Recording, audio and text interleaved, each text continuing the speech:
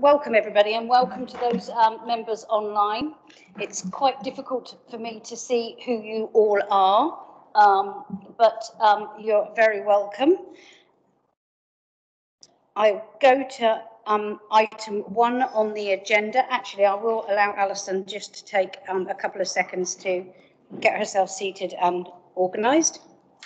Uh, meanwhile, I will remind you if you wish to speak, could you please put the microphone on? Um, and uh, thank you very much. There's a couple of members um, just joining. For those of you on screen, there are a couple more members that are just um, getting themselves sorted. Could you please make sure your phones are on silent? Thank you.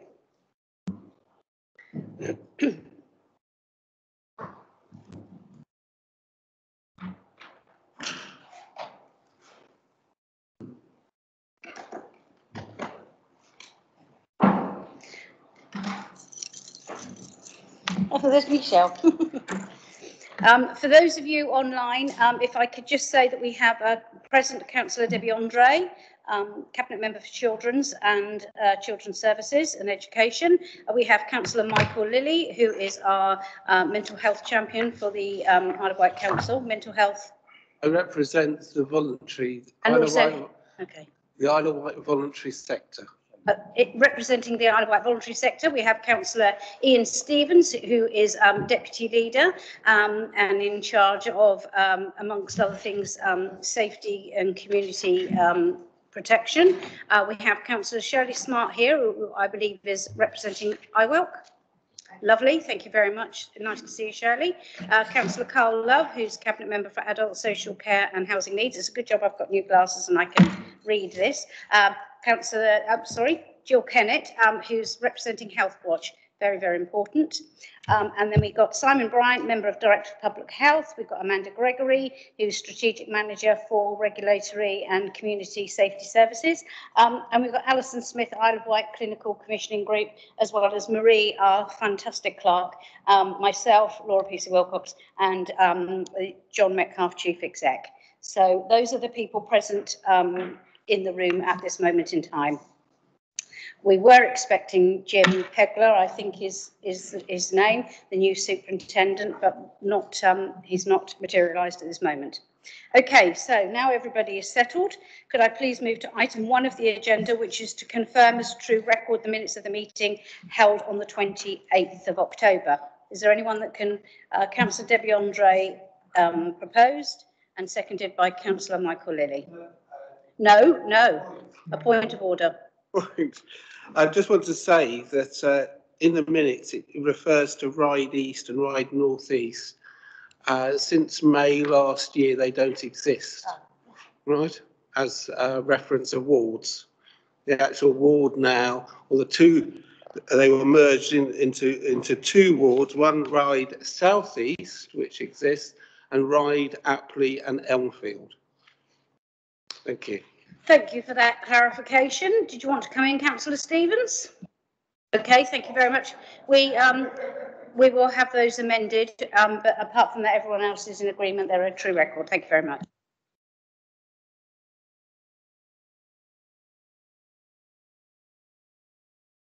Okay, um, item number two on the agenda is declarations of interest. Are there any declarations? None in the room. Are there any on screen?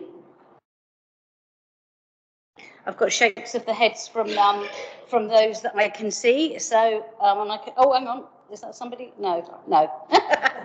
okay, so there are no declarations of interest. Thank you.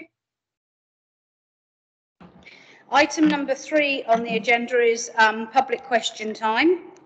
Um, uh, we've not received any public questions. Councillor Brodie's comes in on the member question time, does he? Oh, there's a public question. Sorry, my mistake. Councillor Brodie, do you want to come in and ask your question? Yes, I do. Yes, and it is a public question because I'm not actually a member of the Wight Health and Wellbeing Board, thankfully. It is now six months since I first asked my question of the Health and Wellbeing Board as to what they would do to seriously address the continuing unwanted position of the Pan and Barton area in Newport at the top of the Isle of Wight's deprivation tables. This has been the case for all of the 25 plus years that I have been involved in the local community, 17 as the local councillor. It seemed to me that this board was just a talking shop that achieved little, if anything. That was certainly my experience when I was a board member representing town, community and parish councils.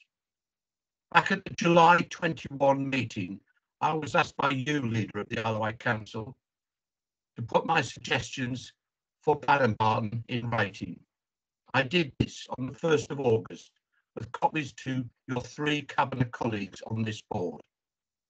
By the time of the October board meeting, I had had no definitive response, which I drew to your attention again. Since then, I have continued to remind you and your colleagues by email and at monthly cabinet meetings of my suggestions. As of today, I have still had no definitive response. Can you or anyone else there tell me precisely what is the point of the Health and Wellbeing Board if it cannot begin to detail and then address the very real deprivation issues that exist for many residents within Pan and Barn? Um, I'm going to bring in councillor. Right, House. Sorry? Sorry, Geoff, I thought you'd finished the question. No, I haven't. That's typical of this council. Absolutely typical. You just want to move on quickly from this real issue. Can I continue? If you if you have your question, can, uh, Simon Bryant is prepared to answer. What is the point of, the, of me asking a question if you're just going to interrupt and not actually listen to what I'm saying? You're an absolute disgrace. Uh, Geoff, Geoff, uh, uh have you finished? Forget it. Forget it. Would, would you like to continue to answer, ask your question, Geoff?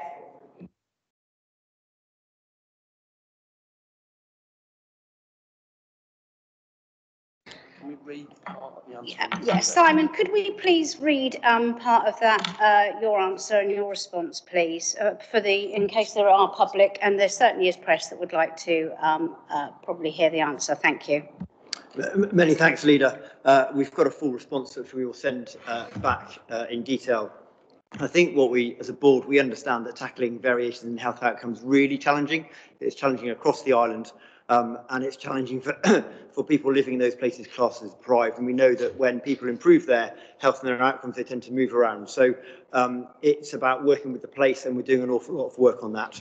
There's a number of programs that are related to both the PAN area and the island as a whole, which will impact uh, on improving outcomes. And this board has taken tackling health inequalities as a priority for the strategy going forward. So I think what we can say as a board, we recognise this. We've always thought about it, but we've really explicitly said it in this strategy going forward. Uh, Leader, if I can just highlight a couple of bits uh, that's probably worth mentioning. We've got a really strong programme of regeneration uh, led by the Isle of Wight Council. Uh, as part of that, we've got the Shaping Newport programme, which has secured um, funding to progress those priorities, and the Pan and Barton part of the um, of Newport are part of that. So that's really positive. The island has been nominated to do to establish a population health management programme um, as part of um, developing its understanding of the uh, integrated care partnership locally. Um, and uh, that will really help us to understand the health needs and what we need to do to tackle it, supported by the central and west PCNs, which include the Pan Estate. A lot of work going on there around social prescribing, health and wellbeing coaches, access to mental wellbeing support, etc. Lots of things in that space. Uh, with regard to homelessness, we've got uh, an assessment hub um, and we've got Howard House located in that area. So we're working across with colleagues uh, to tackle health inequalities for those who are homeless, thinking about substance use, mental health, etc. We're also working with the um, outcomes homes to ensure we have um, solutions for people who may need uh, extra support for their housing. And we've also got um, a tenancy academy. So we are providing households with the knowledge they need to secure secure tenancies. Finally, uh, we are also doing work to improve the health of the population and working with adult social care. And again, we have an early uh, help and living well service for adults that's going to start and Barton and Pan are focused on that And our 0 to 19 health visiting services work out of the Newport Family Centre. And that's on top of all the work that we do with schools and education in that area that will focus on that. So I focus on a few areas there, but I think that shows we are taking it seriously. Thank you so much. Um, and this is only our third meeting, I think, certainly as me chairing, it's, it's our third meeting. Um, Councillor Debbie Andre, you wish to come in um, to mention. Thank you, Leader. If I can just add to that, um, as Simon has said, it's a whole island approach. But as Councillor Brodie is well aware, there are specific projects that are going on within PAN. I'd like to um, draw his attention, everyone's attention, to uh, a couple of particular uh, activities that went on over the Christmas period as part of the grant funding that we received for Connect for Communities.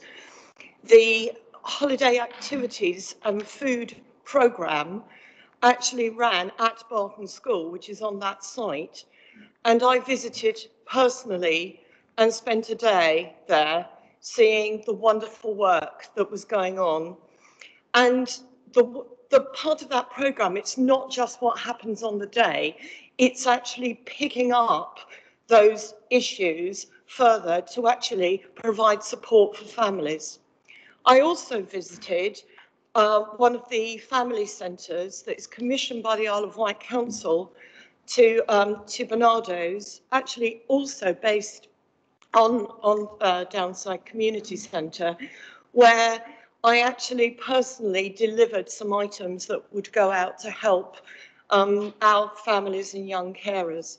So, and as Councillor Brodie is well aware, we have a meeting in the diary scheduled for this Friday morning, bringing partners together from our adult community learning team to actually look at expanding our adult community offer within the Downside Community Centre, specifically targeting those skills which will help the residents of PAN to come into employment in those areas which are much needed on the island. And as we're all aware, one of those is adult social care.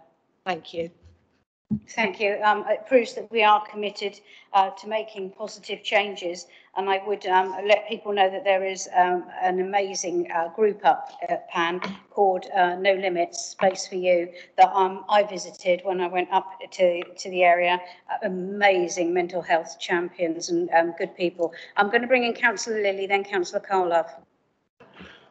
I just wanted to to add, Chair, that um, obviously, you know, we have a priority of uh, poverty and deprivation. One of the things I think is important, especially now we've got new wards, is to, to have up-to-date data for those wards and also to look at the issue of deprivation. I totally accept that PAN uh, has, you know, uh, real issues and, and deprivation and poverty. But there are other areas in, on the Isle of Wight that also, and in fact, there is at least two, two wards uh, in Ryde that have that level. So we do need to actually get all the up-to-date information and actually have some fairness uh, uh regarding um, the, the deprivation and poverty and any initiatives uh, on, on that. And I think it's important that uh, we, we, we have that. And also, I think we need to have a clear view of our priorities and themes so that we're engaging with parish and town councils and the voluntary sector. And I'm saying this as, as a representative, in this case, of the voluntary sector, that can really engage uh, well with those priority themes. And I believe a previous meeting I've been at, those were poverty and deprivation, they were young people, they were mental health, and they were housing. And that uh, was the key. And, and health uh, equalities was sort of broadly the umbrella of those and the, uh, the particular thing of parity. And we need the parity of services in all the areas and the hotspots of places of poverty. Thank you. Uh, Councillor Karl Love. Thank you, Chair. Um, the member represents his community very well, and I just wish that um, all other uh, councillors across the island would represent their communities so vigorously um, in in addressing the issues. Um, so I mean, we've been in office now for um, eight months, and in that time, I think we've actually done a significant amount to address poverty and the causes of poverty, carrying on from previous administrations. Um, but we are in a, um, a, a period of declining budgets and it's important that we do make sure that we target our resources as best we can. You know, we are just about to um, uh, issue the Living Well and Early Help contract, um, and that will be coming out. We've been reshaping that. We have our mental health champion here, as uh, has been um, highlighted uh, by uh, Councillor Lilly, um, who we've actually added some resources to, so that he can be able to uh, address some of those causes. Um, we um, have a scrutiny committee which does very much hold us to account in terms of um, delivering change. Um, and change, it will only come very slowly, um, I'm afraid, unless, of course, the member can um, identify to me some significant amounts of money where we can invest, um, which I'll be, uh, uh, uh, I'll be you know, willing to listen to. But I mean, but we've got all kinds of other issues across the island, dental health and so on, that we're all trying to address. And we have to balance that off against need and other county need. But we do hear what you're saying, uh, uh, Councillor Brodie, and, and, and we will try our best to support you. But we do have to represent that right across the island. Thank you. Okay, um, I'm going to move on. There's no further public questions, and I think we've certainly gone over our 15-minute allocation. Um, there's chairman's update. Um, John, I think you were going to give a brief update on a couple of issues. Thank, thank you, Chairman. Um, I think there's probably only three things really to uh, bring to the attention of the, uh, the board. Uh, and I think in the context of the previous conversation as well, it's perhaps worth reminding ourselves that this board is a strategic board. We need to set the strategy for what we're trying to do to improve the overall health and well-being of the island's whole population. But we have to look to our partners to operation, operationalise some of those uh, activities and turn them into things that happen on the ground, whether it's police, fire, local authority, health, we've all got that joint responsibility to to take that strategy and operationalise it in our own areas. And I think that's an important point and certainly something we'll come on to later on on the agenda. Um, I think three points I wanted to cover. Firstly, um, just to, in case members of the board haven't picked it up, we've, we've previously talked about um, the development of the Hampshire and integrated care system, which was meant to come into play from April 2022. Um, that's been delayed now until July 2022, um, primarily because the Health and Care Bill hasn't yet made its way through Parliament, and it's the Health and Care Bill that um, uh, closes down the CCGs and empowers the uh, integrated care systems to take on board the responsibility of uh, both CCGs and the providers. So something that we're aware of and uh, uh, we are working with, and we're still talking to ICS colleagues. There is a a, chairman designate of the ICS and a chief executive designate of the ICS, and we're working very closely with them about what that then means for the island in terms of a locally managed approach, a local system uh, for managing and bringing those services together. However, what I think has come out of some of those conversations, which is really important, and Simon alluded to it, is uh, with the support of the ICS, we, we've secured, um, uh, we've, we've, we've put the, the island forward as a pilot for some work around population health management uh, and population well-being um, that is promoted and supported by the ICS. So hopefully there'll be a project that kicks off in the next couple of months, uh, which is about looking at how we can, uh, as a system, as a health and care system, and bringing all the other partners in around housing and regeneration and everything else, how we can work better to address some of the issues that Councillor Lilly's just been referring to and Councillor Love in terms of poverty and deprivation, those other issues. So we're a pilot project uh, with the support of the ICS and whatever comes out of our pilot project will be used to uh, inform the ICS's decisions about how it sets up other local local delivery systems across the Hampshire and Isle of footprint. So I think that's a really good feather in our caps and I know Simon and Alison particularly have been working very hard on securing that for on our behalf. And then I think finally, the only thing to mention really just, uh, uh, in it, I'm sure it'll come up further on in the, in the conversation is that there are some changes to the COVID rules today uh, that we've seen, um, mostly around face masks and not being compulsory to wear face masks in shops and in various other places. Um, I, I'm quite heartened, I think, that to see that lots of shops are still saying, you know, please think carefully, think responsibly, uh, carry on wearing face masks where you think you should, and um, certainly something that, that I'll carry on doing. But I guess that's something that, that we'll all want to reflect on our own personal responsibility as we uh, as we still negotiate our way out of uh, hopefully out of the pandemic. Chairman, I think they were the three points I wanted to make. Thank you. That's superb. Thank you very much. Are there any questions for John? No. Okay, so we move on to item five on the agenda, which, oh, sorry, I didn't look on the screen see if there was no, there's no one.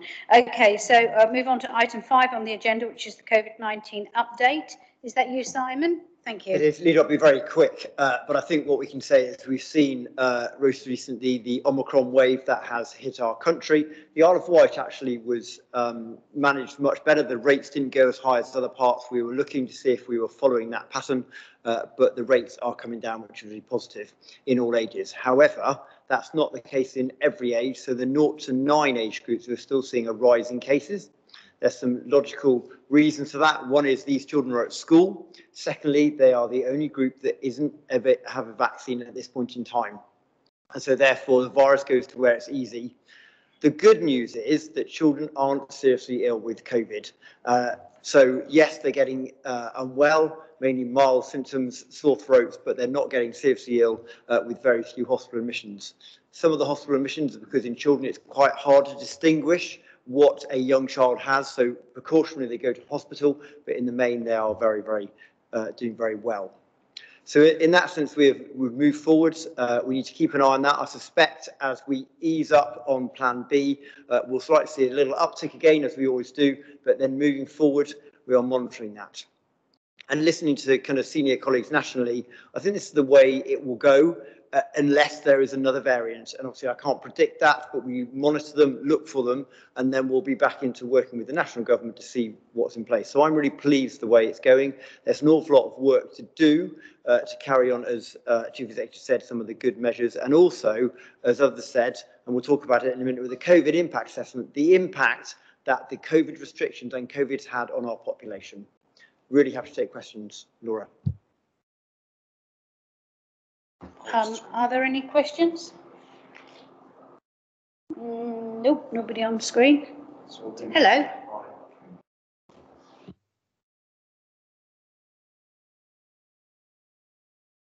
Are are you Jim? Oh. Oh, right. Hello, Adam. Uh, Hi.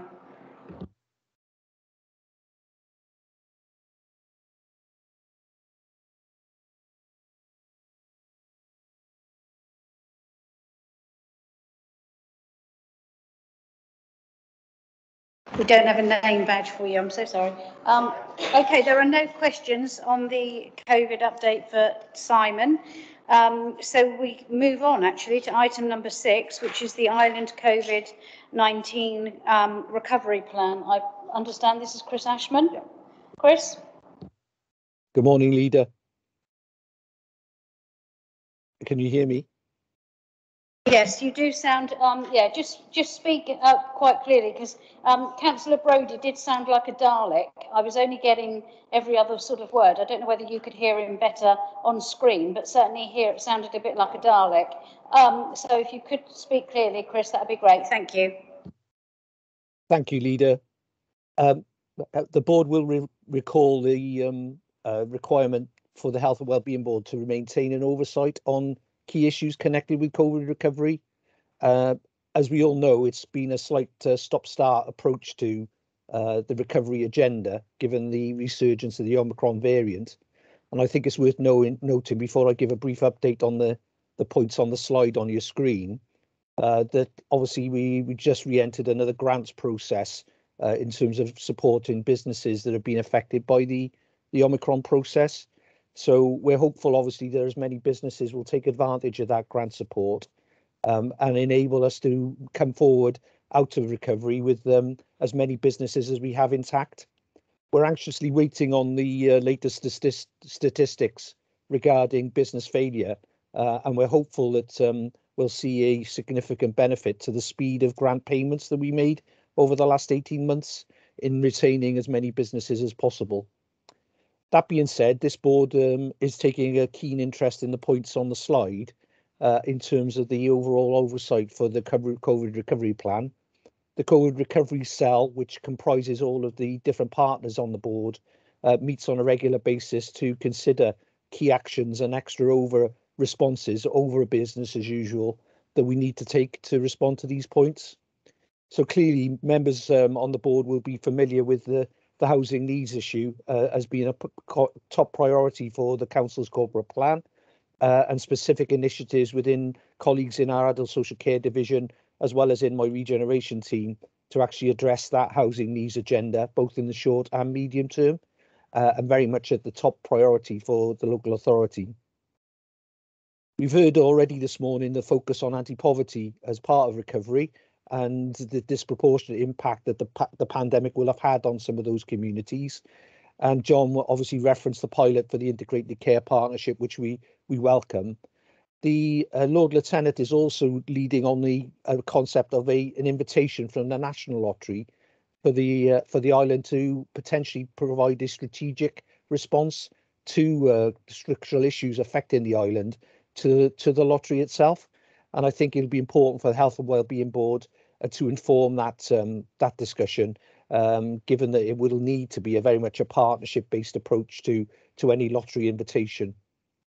I think colleagues from education will obviously report um, uh, good progress in terms of the attendance uh, rates at schools. And obviously, we, we will watch carefully the use and take up of the catch up funding the government has provided uh, via our education services, both in Hampshire and the Isle of Wight. Mental well-being, we've got the mental well-being strategy, which obviously will be you know, properly resourced and implemented. Um, and we see specific opportunities such as the uh, loneliness, uh, addressing loneliness through transport project, which um, which our colleagues in highways will be preparing in partnership with others uh, a, a, strategic application to address that particular issue. Um, no progress really on the commemoration and celebration uh, agenda.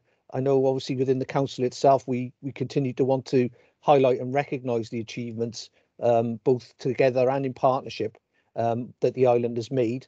Uh, and I think there is uh, further work to do, uh, which we'll obviously update the board on as it progresses. The implementation of Kickstart and other apprenticeship programs continue. Um, and obviously we work with our partner organisations to try and identify uh, with DWP uh, an ongoing route of um, potential opportunities within the public sector to uh, provide training, particularly for young people.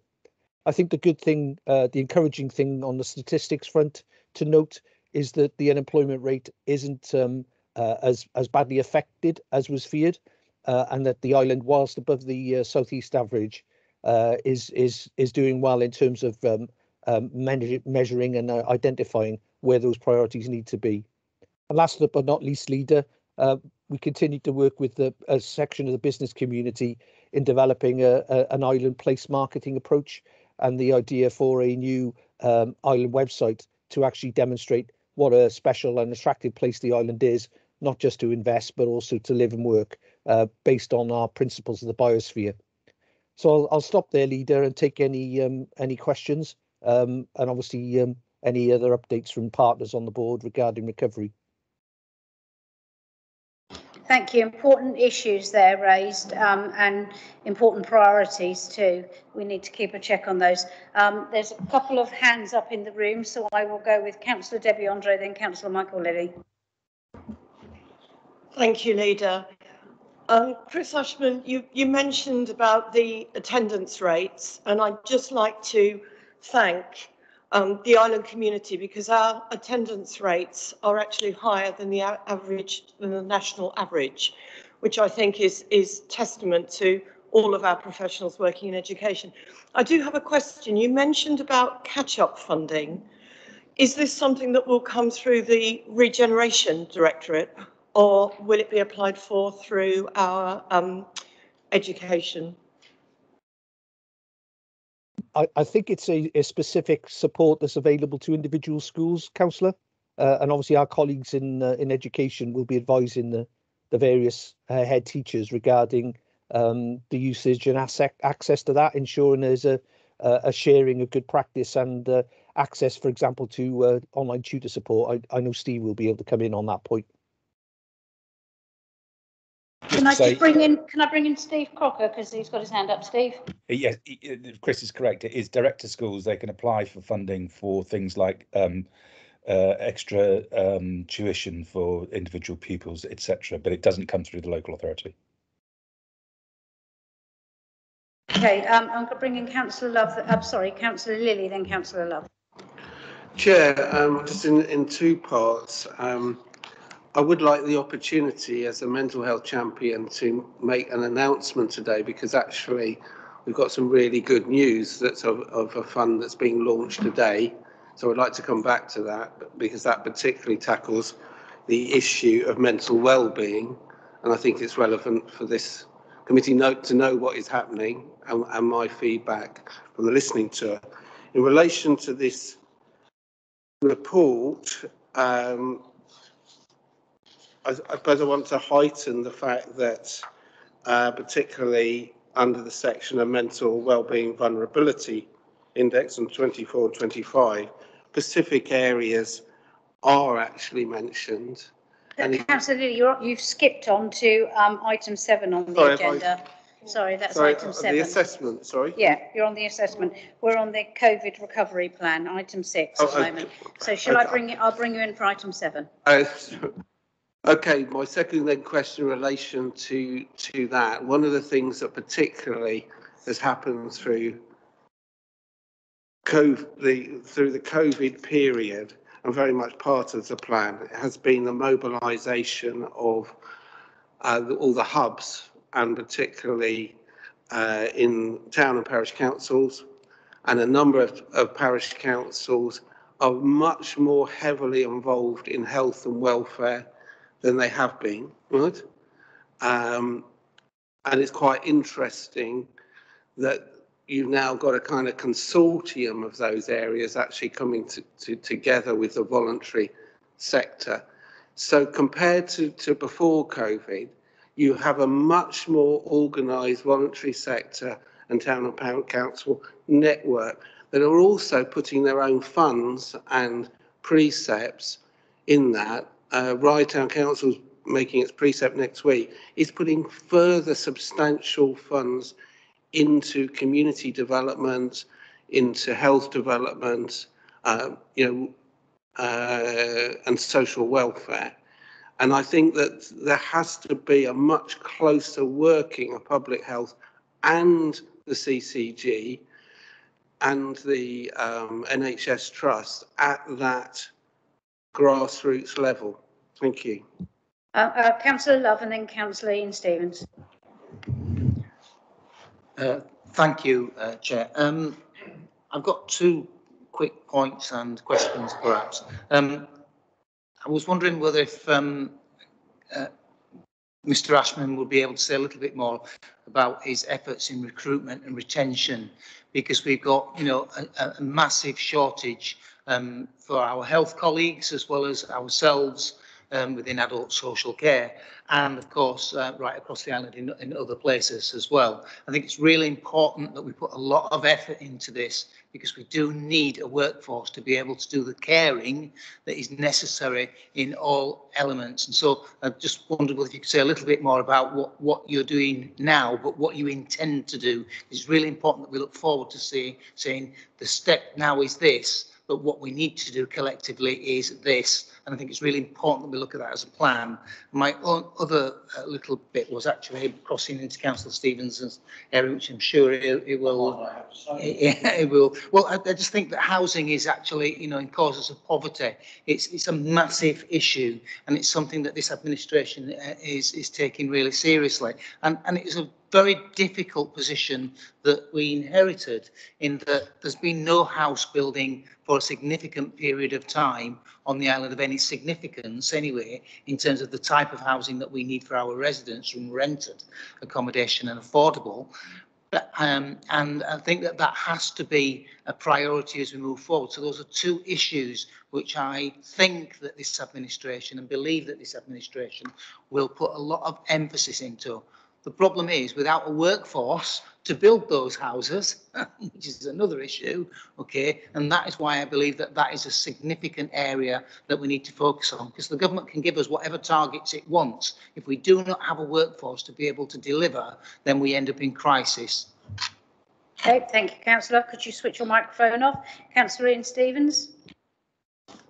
Thank you very much, uh, Chair. I um, looked at the list and I noted that housing was at the top of the list. I would have preferred it to be housing stroke homelessness because that's the situation we're in. Uh, we haven't peaked yet, I don't think. We're still, you know, people are saying, no, it's plateaued out a bit. No, we've still got a situation with regard to housing, uh, homelessness numbers. We've still got uh, a problem with, as Councillor Love pointed out, with housing not being built. I don't go along with affordable housing because affordable housing be, can be under so many different guises. I go along whether you're going to rent or uh, or purchase. Now that that's the thing, and how we can help people um, purchase their their own homes. That's one element that we really need to look into.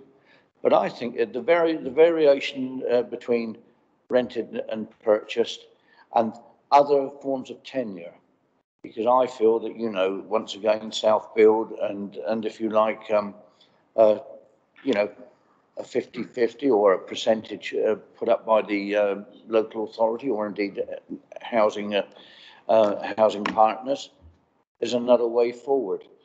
But the big thing about this and the, and the problem, and I take on board, everyone knows, everyone knows the problem, everyone knows that we have not built enough houses, and with the um, with the situation with regard to materials alone, it's going to be a struggle to uh, to get things on track. But mental health and other um, elements and pressures on on uh, on um, families and individuals uh, is one of the things that if you haven't got your own front door, if you haven't got your own um, area where, which you can call your own, and whatever it may be, then the pressures of everyday life become increasingly difficult. And that, and that, that impacts on all services. And when we start to talk about okay margins, it's not going to be profitable to build a, a three or four houses here or five or six houses there. As a local, as a local authority, we should say, hold on, because if we don't build those and if we don't put families and individuals even into, into various uh, accommodation, then it impacts on our social care, our education, our health, licensing, and everyday life on this island is impacted. Now, that's the price. If we don't, if we don't continue down the route that you and I, um, leader, have gone down, if we don't continue and we don't get things moving quicker than we're, we're the, the, supposed forecast, then we then we are going to be um, in deep trouble as we as we go through this year, especially especially when uh, the uh, Airbnbs and and others open up and they put more people out of accommodation we've got to be ready for it. It's great to have, uh, you know, to, to start to look at modular um, homes and things like that that we can we can build. But we've already said we've already said that that's not an overnight fix. And thank goodness we've got we've got an empty properties officer who gets out there and works wonders along with along with other staff because that's what we've got to go for is, is probably the um, ready-made fix. And that's, and I'm going to leave it there, but that is, it's happening at the worst time with the COVID recovery. that's going to be, uh, have the brakes half on right the way through if we don't start to get our housing uh, situation under control and move it forward. And as I say, don't worry about the, or do worry about the margins of the, of, of the build and how much it costs, etc. But worry also about the margins that you could add in from uh, uh, the NHS, the CCG, uh, social care, mental health and education, etc. It pushes it into a very, very, very big equation, bigger than bigger than when you just talk about housing and homelessness. Look at look at the ramifications uh, to other services, and uh, with that leader, I didn't need to be told to I was going, but emphasis on homelessness and housing. Okay, thank you. Thank you, Councillor Stevens. I'm not going to bring in Councillor Lilly. Um, uh, Chris, um, I know there was a question there, I think, from uh, Councillor Love. Uh, if you if you can remember the, what that question was um, and can answer, that would be great. Um, I agree with Councillor Stevens. Um, I understand within the past uh, year, the Empty Homes Officer has brought back into use 74 homes, which is um, pretty remarkable considering we have very little teeth, um, which we, uh, you know, in which to force um, issues there. So um, that's a superb job. So, uh, Chris, if you could um, answer those questions, thank you. Yeah, thank you, leader, and and members make in, entirely the right point in terms of the the impacts the pandemic have had on what were pre-pandemic significant issues already. So the uh, the pathway, taking Councillor Love's point, the pathway of entry into social care has always been a challenging one, um, and the need to actually access uh, a workforce that is younger and that is is able to support the um, the commission network in terms of achieving their objectives was a pre-pandemic issue. It's been exacerbated by the impact of the pandemic. So I, I think I can try and obviously reassure the board in relation to the adoption by the council um, in November of the Isle of Wight Skills Plan and a very specific focus within that around some of those key sectoral challenges. And the core element of that is improving the relationship, particularly between our schools and the and the labour market, in terms of identifying how opportunities for career work pathways, such as social care on the island, are available to young people. I, I, I have to say, and both Laura and I were, were disappointed that when we ran short courses back in the uh, the summer, unfortunately, the response from the, the general unemployment register wasn't as encouraging as we'd hoped. And I think we'll need to do more of that to actually run those customised opportunities. But there's very clear sectoral need within that skills plan a relationship in terms of developing a, a better communication of the career opportunities with the um, uh, with the post 16 sector in particular, um, and obviously that will form an important part of the regeneration and the uh, and the education approach that we take forward into the coming recovery years. I think the final point, really, on Councillor Stevens' um, reference to the housing matters, I think in the context of what this board is there to achieve uh, in terms of collaboration on health and well-being. I think you, the board will hopefully be encouraged to hear that uh, the different partners collaborate regularly on the One Public Estate programme. And a really core aspe aspect of that is to bring forward housing on public land on the island. Um, and there is a very clear uh, set of opportunities currently supported by the Brownfield Land Release Fund opportunity though that funding would not be available unless we had a collaboration between the trust, between the CCG, between the police and the fire service, looking at land across the piece. And um, I just wanted to reference the work of that um, that one public estate partnership uh, to the board, and obviously we can provide separate updates and reports on the progress with that. One final point, I did have an update on uh, actual house completions in 2021 right across the market. Uh, and there were actually 400 houses built in 2021. Um, and obviously, we're all aware through the Housing Members Board of the um, of the 200 affordable houses that were, were built in that period, um, and much more work still to do, as Councillor Stevens rightly highlights. Um, but the RSAP project, uh, in terms of providing that homelessness move on, um, again, property acquisitions using government funding in the in the mix as well. So hopefully address some of the points that members of very dear leader. Thank you.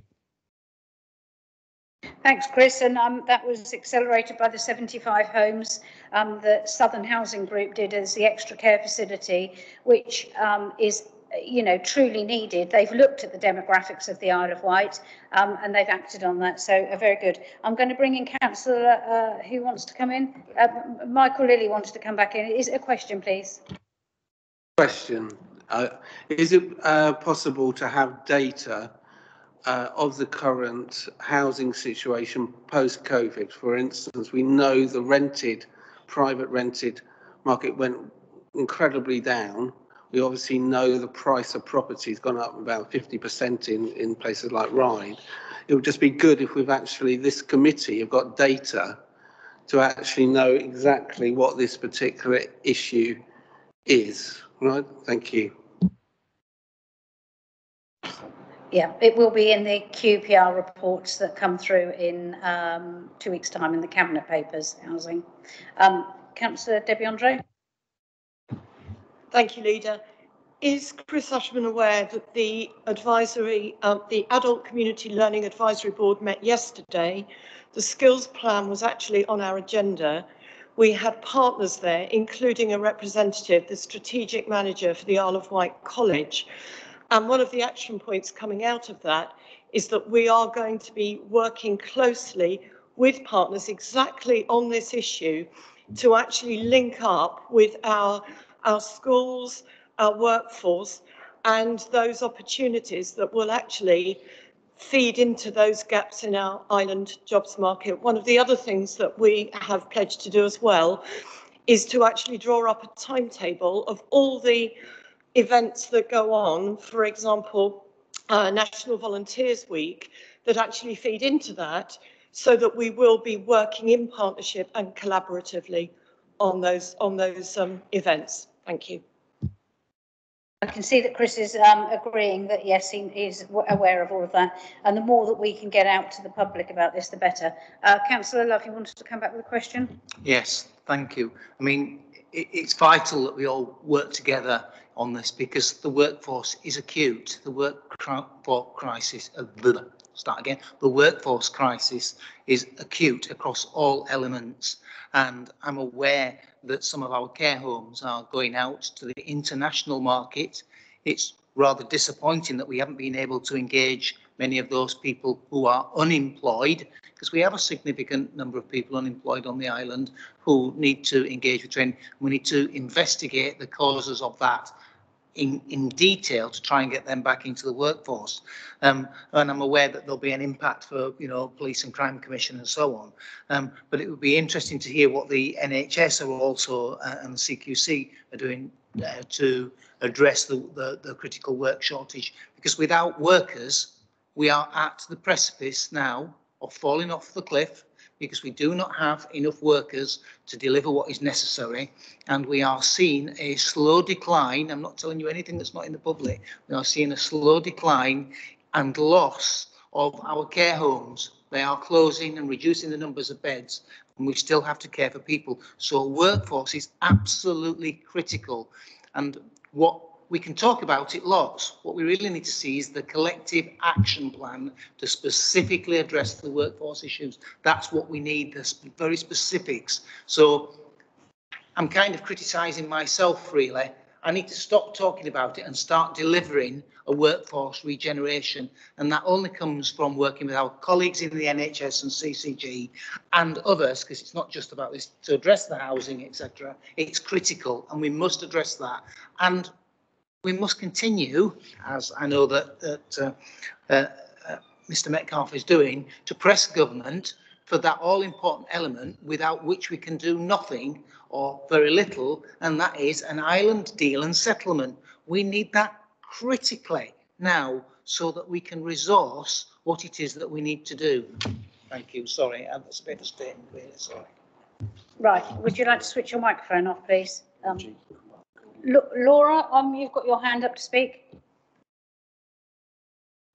Um, thank you, Leader. I just wanted to follow on from Councillor Love's comments in relation to that critical workforce piece and to hopefully provide some assurance to the Health and Wellbeing Board that that is something that the Integrated Care Partnership are very focused on. We've got an active workforce cell of the partnership who routinely are looking at all options in relation to those workforce pieces.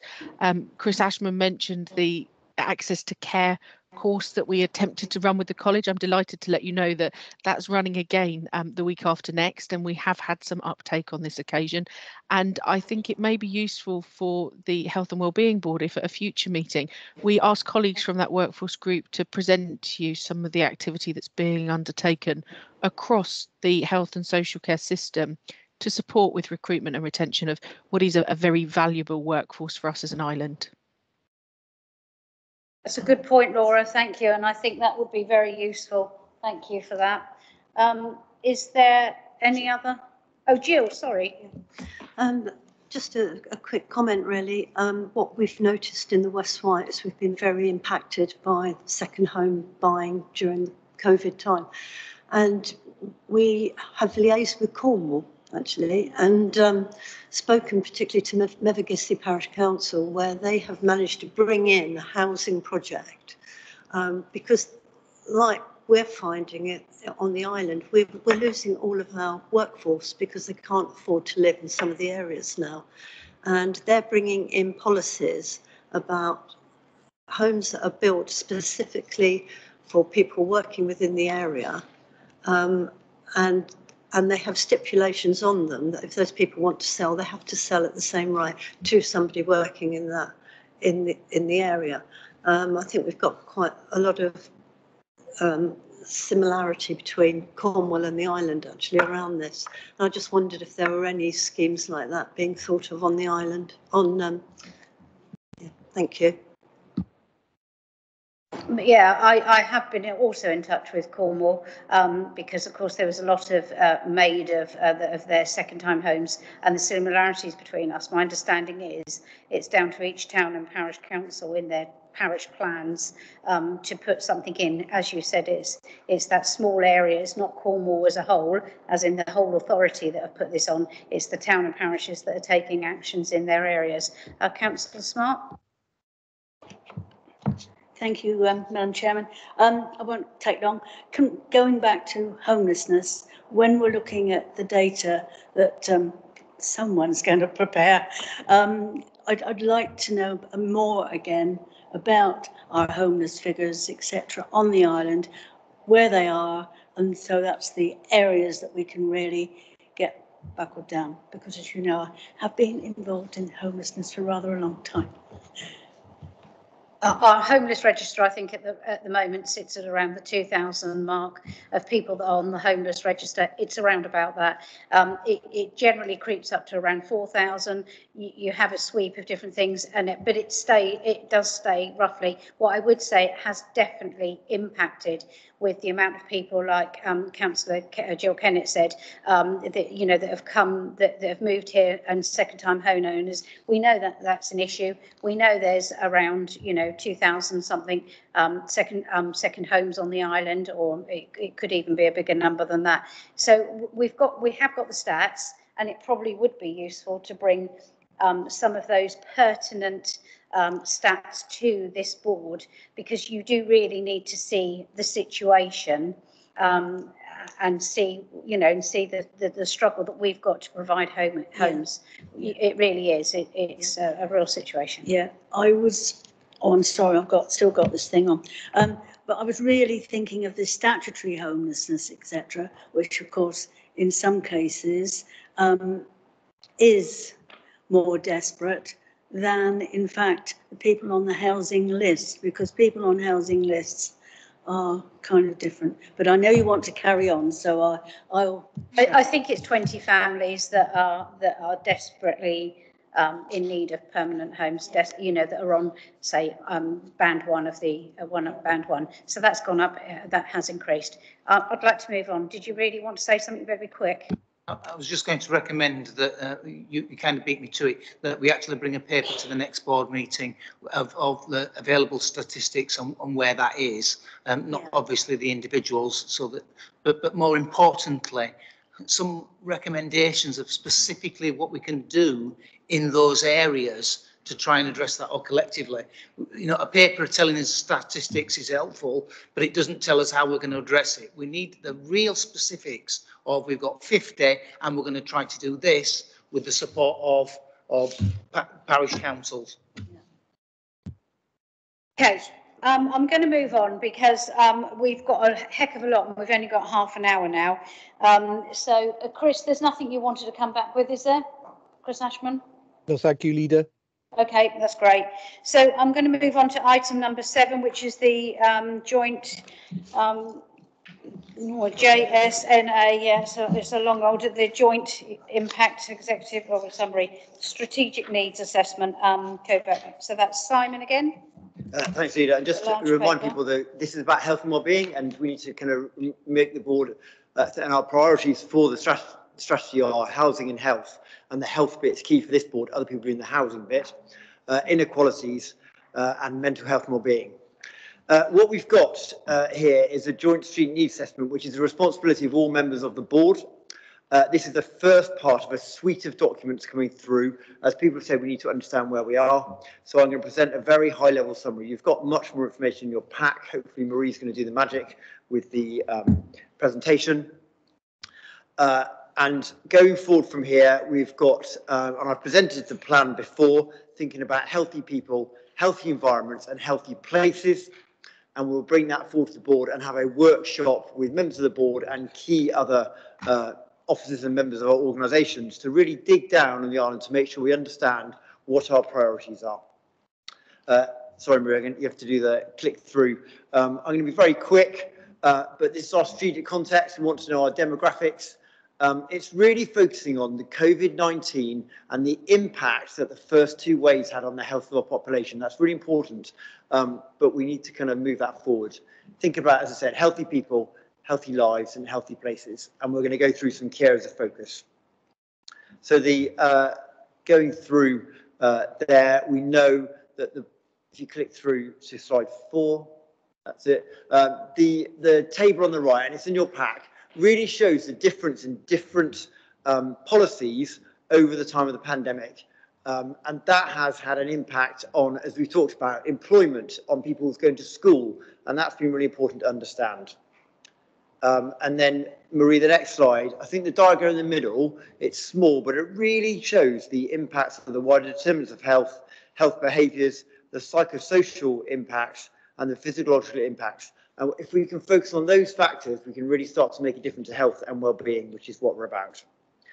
Um, going forward, two more slides. We've got demographics. I think it's really important to know that before the pandemic, our health was not improving. Uh, across, we're not unique across the country, but actually we know that our health was uh, in a downward trajectory. So that means people are living longer in poorer health, which then impacts on their healthcare, on our ability to uh, live the lives we want to.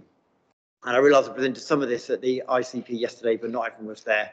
Um, and we've got an older population that is ageing fast, and we've got less ethnic diverse, but that is growing, and we need to think about that. So when you look at um, how healthy people are on the next slide, Marie, you can see those graphs on that downward trend by deprivation, as we've all talked about, a really important factor for us to understand in, to improve the health of our population, and life expectancy has decreased. So then moving on to healthy people, so the, the next section in the pack, um, oh sorry, uh, if you click through, Marie, uh, to section four, there we go. Uh, who's been impacted by the uh, population from COVID? We know that in the first two waves, over 60s was a strong predictor for poor outcomes, and the older people disproportionately affected. We saw that in a variety of settings. However, younger people, and we've called those age 70 and below, are more likely to experience long COVID, particularly women. So actually, what do we want to do to try and change that? What do we really need to think about in the way we change our approach to health and care and well-being going forward? And often, and I say very carefully, the females in a family are the carers. Often, not always, and I'm not making gender stereotypes. And just that's what the data shows us. Um, and then moving forward, uh, you can see uh, on the next slide that um, whilst there were more females having higher number of cases, males were sicker with COVID. So actually, what does that mean for the kind of ongoing things? There's an interesting kind of dynamic there. That could be about health service use, where males often go to health services later than females. Lots of oftens and carefully wording it. So moving forward, what we've got in this pack is a number of maps, and they're all there, uh, which show different wards and different areas that are impacted differently from different factors of our population. So we can see here uh, from ethnic diverse population, we know that they were um, harder hit by COVID for various reasons, and we can see where they are on our population. I'm going through fairly fast to kind of have time for questions. Um, and then we've got a slide here, the next one, I'll keep going, sorry, I must have sent Marie the full pack. Um, older people, we can, these people have been impacted differently, these age groups. So what do we want to do um, as, an, as organisations together and our individual organisations? Really, the JSNA is helping us ask questions so we can dig down and understand what we want to do. It's the strategic document. Councillor Lilly will be uh, have read this bit in detail, but we can see, looking at our mental vulnerable mental well-being index that we have designed locally on a number of factors that have been um, carefully considered where the populations with more vulnerable for mental well-being are living on the island. And that's really helpful to think about how we work um, across to tackle that. Moving through, we know um, lifestyles um, have been impacted on our uh, by COVID, and we know those people with long-term conditions are likely to be more impacted. So how do we think about protecting them? Thinking about not just COVID, but flu vaccinations and other things. We know these people may need some more support to take that up and uh, understand how we can protect them from other things other than COVID. And we know in the next slide, lifestyles have been affected. We know that diet has been affected and uh, some people have uh, eaten more junk foods. You can see that physical activity levels were definitely impacted and we've seen a dip in that. Really important working with Energise Me for our physical activity strategy. Uh, and there's other factors there. So how are we going to think about those factors when we work with the clients that we work with uh, in the settings that we work with? And again, the next slide shows a map of that. Oh, flick, that slide shows a map of where we have identified greater health vulnerabilities. Uh, with Jill here, look at West Wight, you know, there's lots of things there. How do we focus that and work with our local situ situation? Uh, then if you skip on two slides, place, we can see that place has been impacted for different reasons. Um, and this is around, um, so the variation of infection across different parts of the island. Um, Laura Gaudion well know, uh, you know, with care homes in different parts, that has impacted um, on people living in those places. Uh, I won't, uh, uh, if you go through to slide 24, kind of after care as a focus, there's a number of things around businesses that Chris Ashman is much more closely. But how do we think about those key focus? The underlying health risks from COVID aren't just for COVID, they're for other things as well. Thinking about our people who are more disproportionately affected, and we can bring much more information through around this. So older people, minority ethnic groups, uh, and other people who are living in uh, challenged circumstances. Uh, and then finally, we, as I mentioned, people of women of a working age have been disproportionately affected by the uh, long COVID, but probably also by being the main caregiver, trying to do homeschooling. And then uh, Steve Crocker and uh, Councillor Andre very aware, disrupted education we had to do it for a COVID reason, but actually it disrupted education and people's young, young people's health and well-being. And I know we're seeing the impacts of that now. So how do we um, move forward? So uh, Laura, that's the presentation. I'm going to suggest that we have a workshop with, not as part of a board, outside of this, bringing key officers together from all our organisations to really develop this data and our understanding going forward, which could bring back a report to the next board. I agree, absolutely. Such important issues on there um, and some really good up-to-date statistics. I think that's really needed. Um, Councillor Lilly? Um, just want to actually report back, Chair, to link to, to this report, that since September last year, I have been going out uh, as a mental health champion with Health Watch uh, and um, public health as well, uh, right around the island. Um, and I've been sort of visiting community, geographic communities, but also communities of interest, like the LGBT community, um, veterans, um, etc. Um, I've had meetings regarding young people and children uh, as, uh, as, as well as um, adults. And I think one of the, the, the, fun, the, the things is that, so from a qualitative point of view, is people on the, on the ground are deeply affected by COVID. It is affecting their mental well-being and how they see life and how they um, uh, it's weakened their resilience and uh, their concepts of uh, what they see their future and opportunities. Uh, but what we've also seen is at grassroots level, a lot of self-help has actually been occurring. Um, a good example is veterans, where you now have a wonderful veteran shop on Ryde High Street that is packed, that is linking in all the different agencies, and they even have a a van or bus that goes around uh, to actually stop in villages to to so veterans can have a cup of tea and and and, and side. It's quite quite an initiative, um, and people want their voice heard. That's the thing. They want to be part of the recovery. They want their voices to be uh, that. With this, I can announce today, and it's going to be in the press, a press release is going out uh, in collaboration with Councillor Love and Public Health and um, myself as the champion uh, and, and Isle of Wight Health Watch. We uh, found 50,000, or uh, Councillor Love and Simon Bryant found, found 50,000 within the public health budget. And we are launching a small grants fund to really go to grassroots and support uh, the um, the voluntary sector and uh, the community uh, community groups to to be able to develop projects to actually enable a network right across the island, which hopefully will uh, enable people to get the peer support that they need. There is wonderful projects like uh, called uh, Men Only, there's some um, brilliant projects within the, within the LGBT community, the veterans.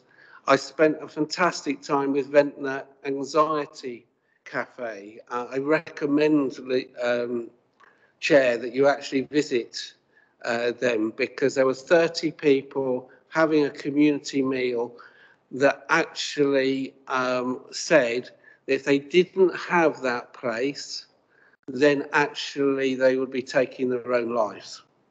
That was a very, very, you know, strong message. They needed that access point. Uh, Freshwater, the, the community centre, there's another example. Obviously, pan together.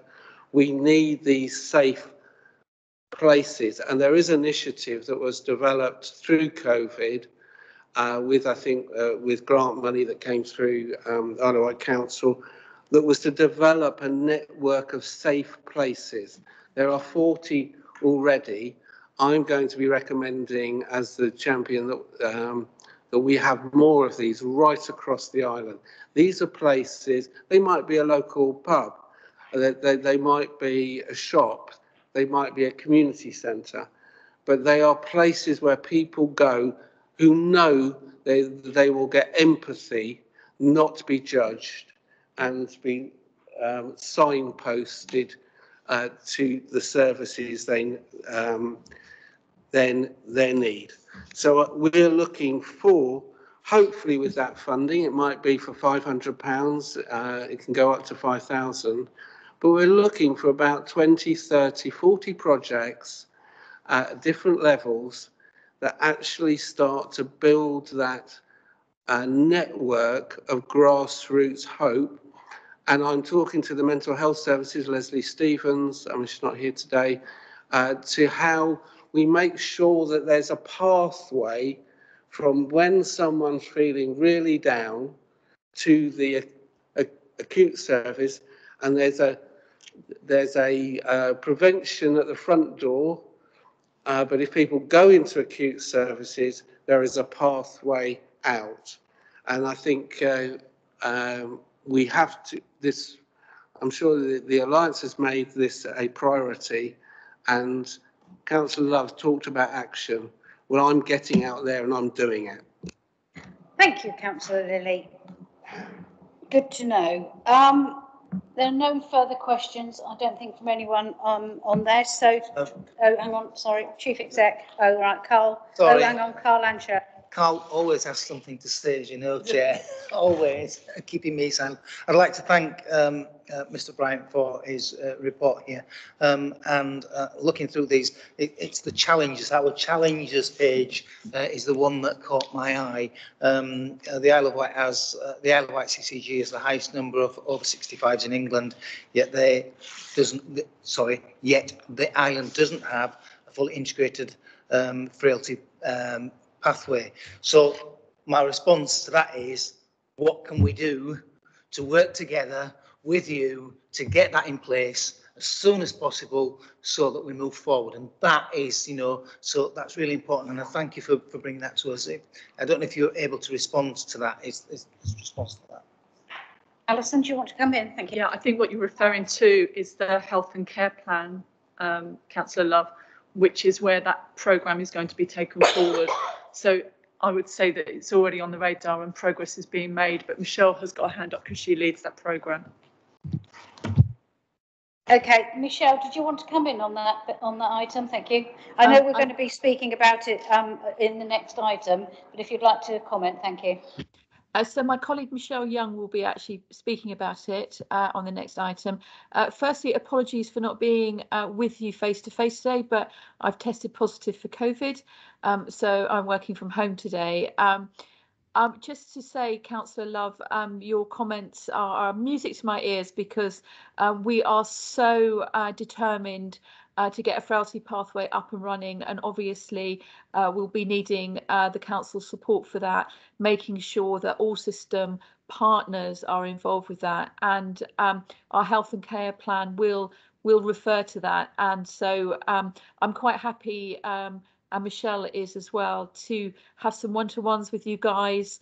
Um, I was going to mention it today because I was planning to come, uh, so we can talk about this um, offline uh, more fully and, and, and really get some momentum behind it. Thank you, Chair. Thank you. Uh, Councillor Smart. Just the practicalities, really. Um, don't forget to actually tell people about this so that um, applications can be put in and where they can put in because um, one, one hears of these things um, and then trying to find out where you apply for it is virtually impossible. So can I just say, please let us know. Thank you.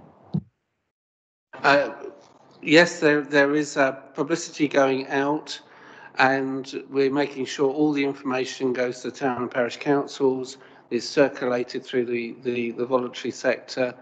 There is a programme of getting uh, you know, press releases uh, in, in, in, involved, and I'm actually talking to the media whether they would do special features uh, within it. And because I've actually been out there with Health Watch, we actually have already, I suppose, encouraged a lot of application um, on uh, on the ground. But I am absolutely um, vehement to actually make sure that we get out as much as possible.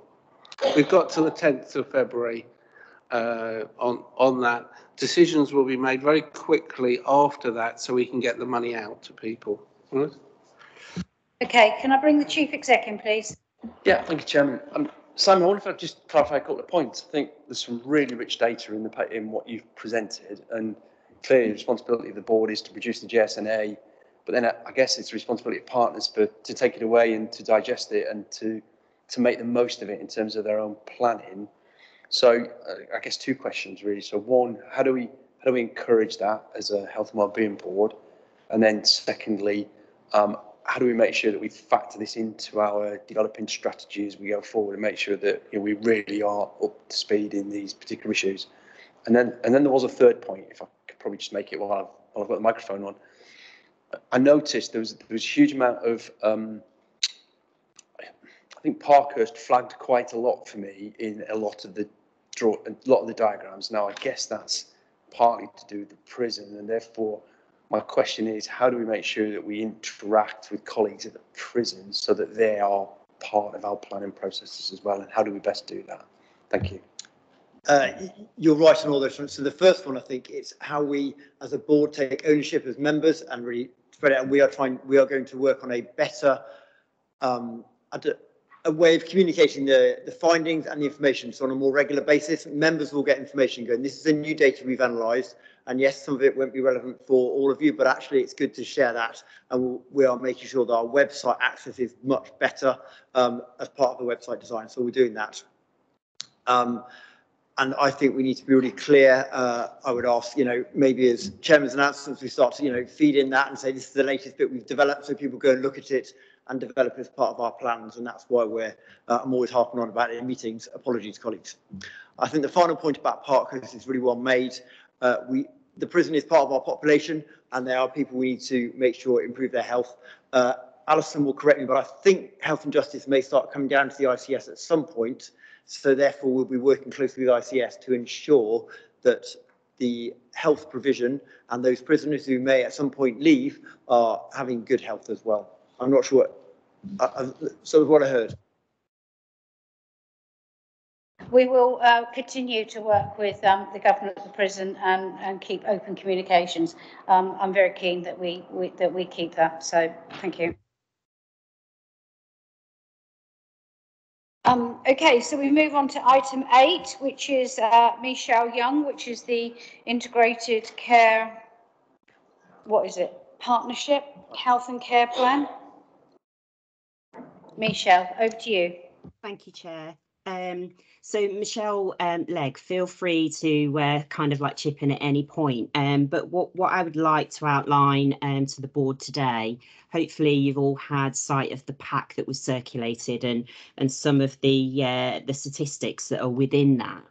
Um, the existing health and care plan um, is due to run until April of this year. So for the last six months, we've been working with Island Partners to refresh that we've been very fortunate in the fact that we have extensive data that is available to us. And yesterday at the Integrated um, Care Board, we actually had um, a discussion around how we have to align this very much to the health and wellbeing strategy. And just hearing the conversations today, that's very clear that we need to, to do that. Um, so in the pack, you'll notice there is a slide that is around sort of the alignment of the health and care plan with existing strategies on the island. And, and we're very mindful of that as we sort of like carry on developing and the plan over the next uh, couple of months. What we're also doing is going through a, a period of reviewing existing um, conversations that have happened with members of the public and we we have a large number of partners that have been part of that process and we will be continuing to do that over the next coming weeks so we've got 12 to 18 months worth of um, information that is coming from island residents and that will be triangulated with the objective data uh, that we you'll see some of it within within the pack today. Um, obviously, the existing health and care plan has been impacted by COVID, and we we we know in the first year we actually delivered almost a plan, but then we obviously moved resources to the COVID response. So yes, we accelerated some of our delivery, but other things that we would want to have delivered obviously wasn't able to take place. So that will be carried over where relevant into the new plan. So I'm going to move on to uh, what Councillor Love uh, mentioned in one of his questions was around our island demographics.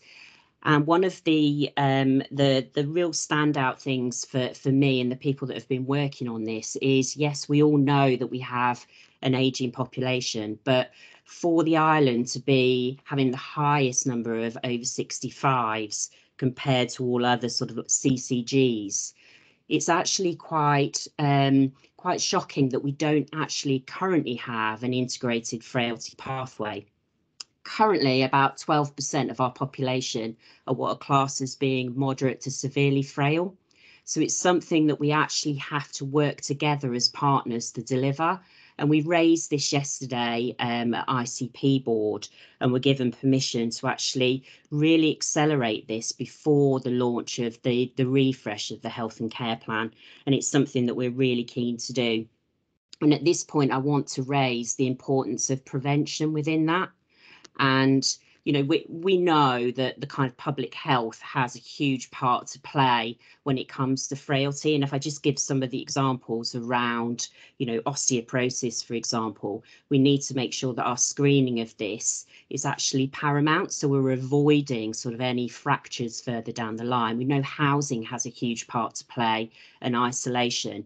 So we need to consider all of this as part of our integrated care moving forward.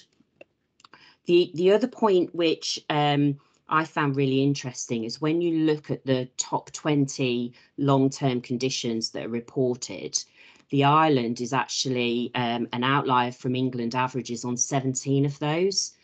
But what was really fascinating is when you look at the top five long-term conditions where we're in the top 10 of the CCGs for those conditions, we do have conditions like asthma as part of that which is quite unusual for an island community.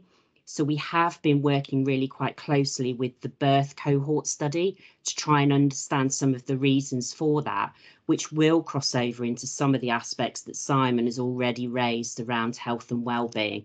So what we will be proposing going forward, and hopefully once we've been able to triangulate some of the subjective data, is work up sort of like four sort of pillars of opportunity prevention, pathways, productivity, and partnerships. But what I will say with that is we know as an island what works best is when we actually pull together all of our resources and we try and avoid any of the, the silo working. Because as we've started talking about, for example, frailty, everyone recognises that we need to do something about it.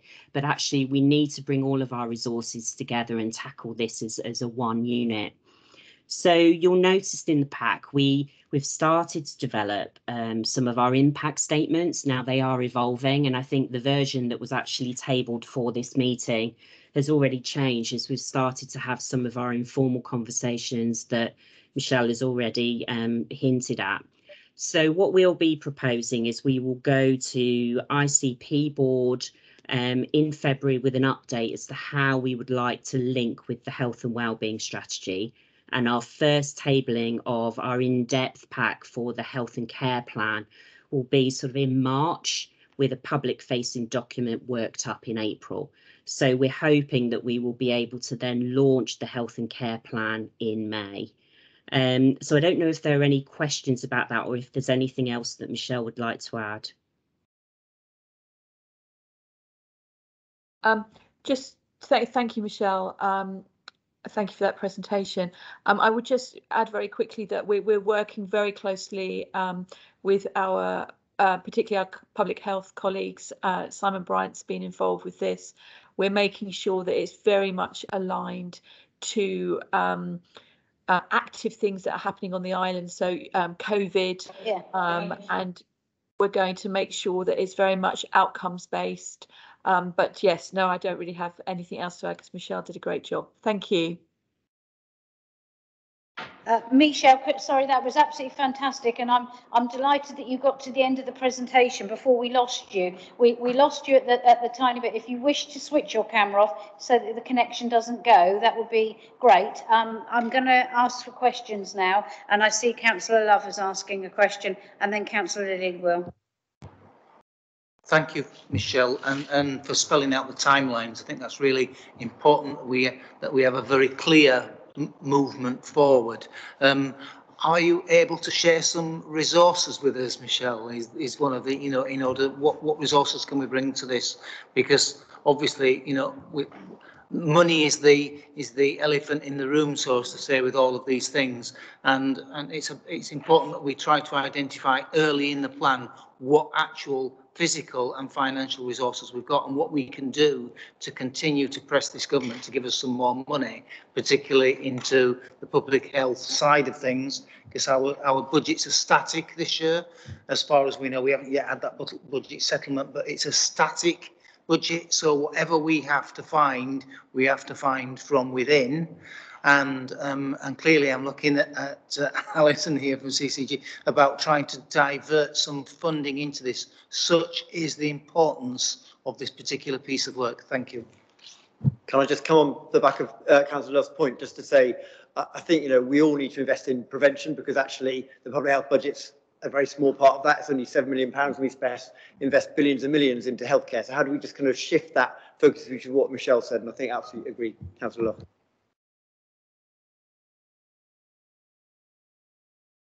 Uh, Councillor Michael, oh, sorry, is that Michelle coming back? It Yeah, is, so it's yeah, Michelle sorry. Um, I was um, I was just going to respond to that. So um, we had a conversation yesterday about the exact same thing. We we have a lot that we want to work on on the island, and what we're going to need to do is actually prioritise.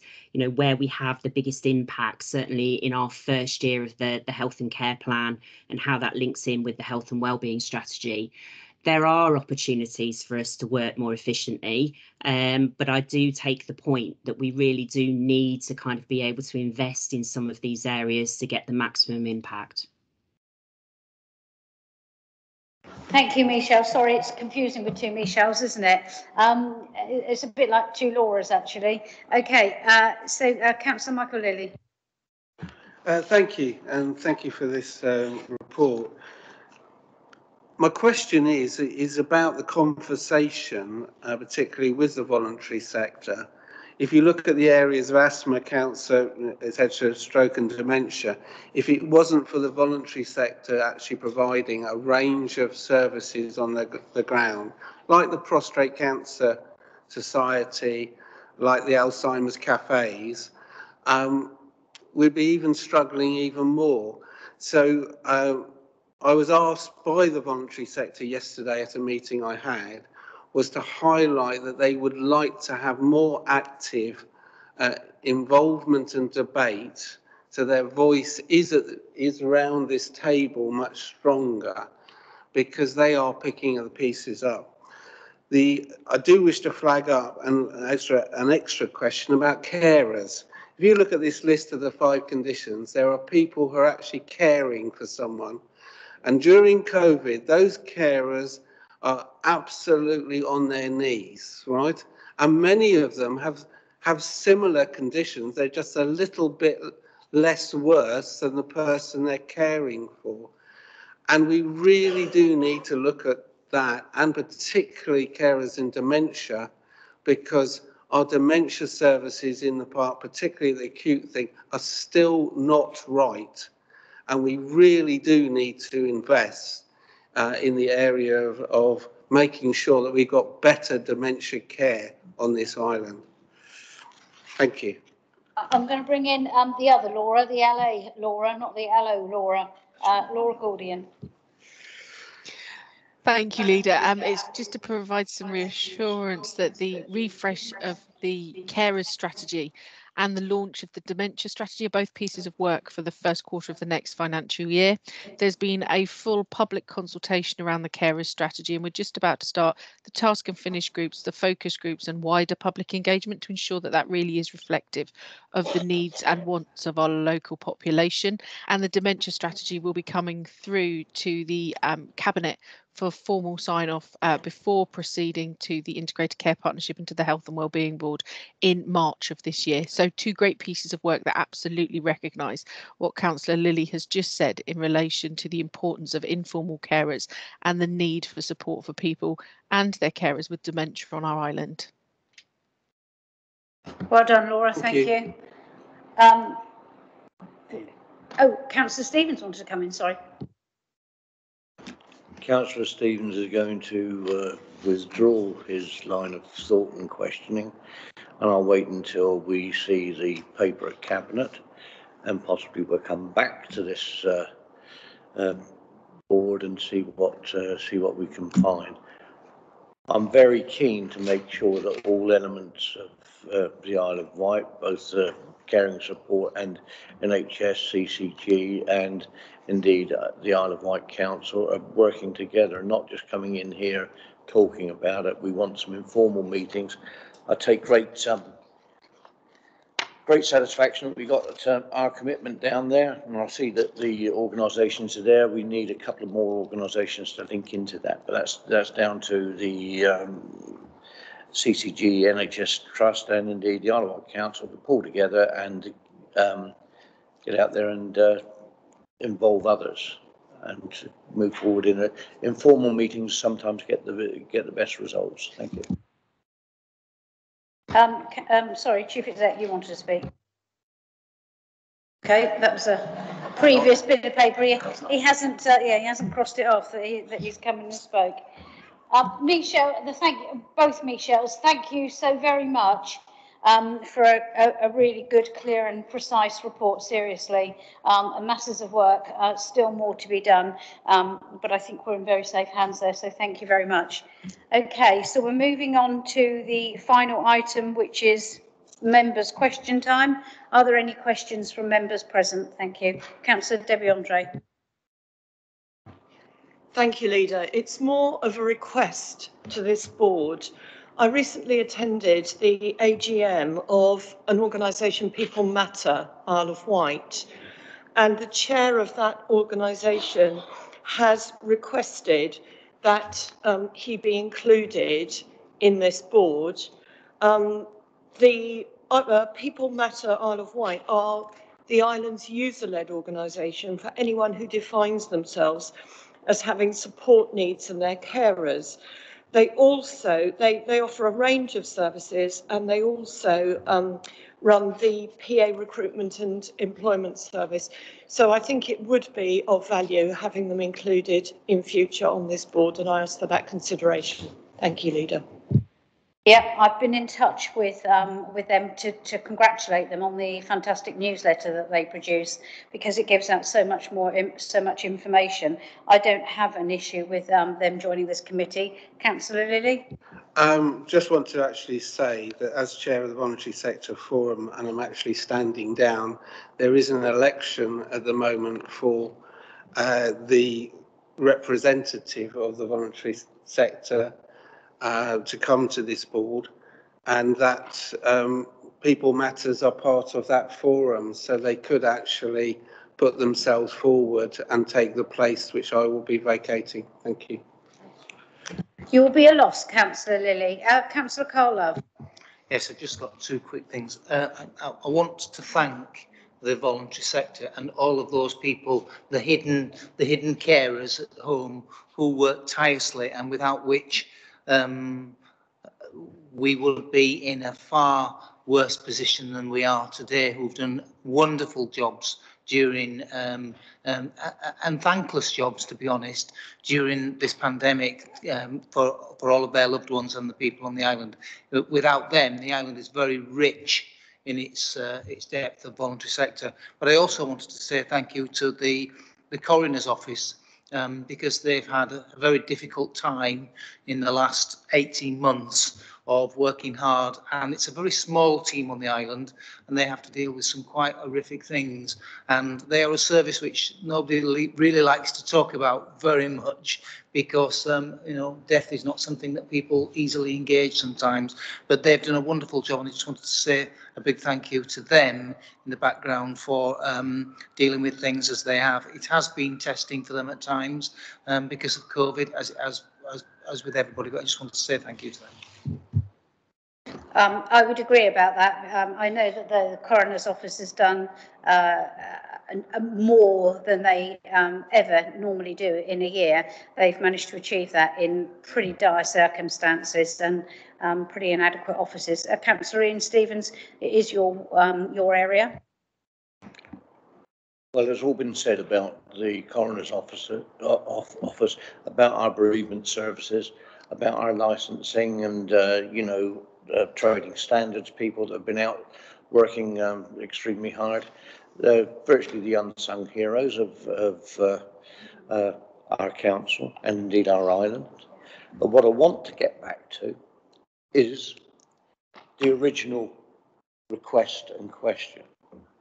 Now, I believe, and I might I might be pilloried for this, but I believe that um, to bring in um, organisations to the Health and Wellbeing Board, um, as opposed to as opposed to representative organisations such as IWALC and the voluntary sector, will be opening the gates to other other people. This this board will um, move away from strategic to a more operational um, thoughts. And I think that what we need to do is, if you if you go down that route, then you're going to you're going to change the face of face of the board, and in which case we we would have to look at the objectives of this board.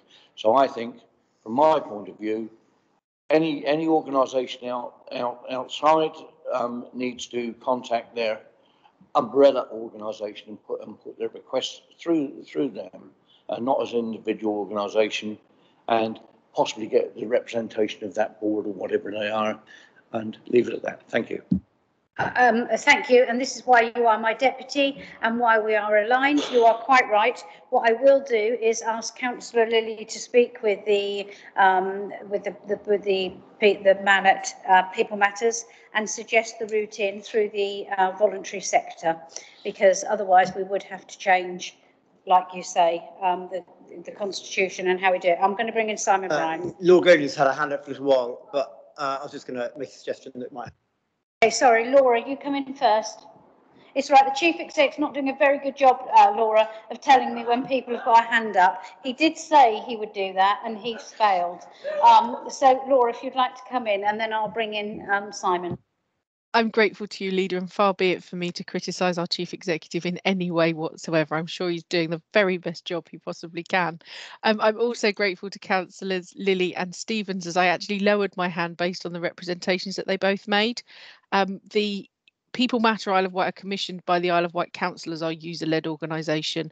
The work they undertake in relation to providing uh, PA services they do as a private business that isn't commissioned activity and accordingly I align completely with the views of Councillor Stevens and Lilly in terms of the representation needing to come from the voluntary sector as a whole rather than as individual organisations.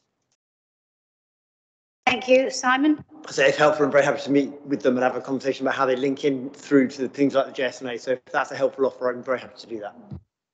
What I would say is they produced such a really good, very, you know, explanatory leaflet. We get it through as, as councillors, I presume, and it's just a good way for us to dissipate information. So thank you very much. Councillor Lilly? Just want to reiterate that there is a mechanisms or mechanisms that's managed by Isle of Wight Community Action for the voluntary sector.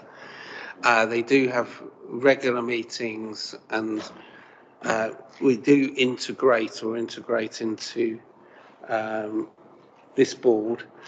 There is a danger that if you have certain organisations, and that has happened in the past with the integrated partnership, um, you then um, the smaller voluntary sector organisations have less of a voice because the big ones, and I'm naming no one, some of the, the big ones have more uh, linking and, and direct sort of voice in, which is actually unfair.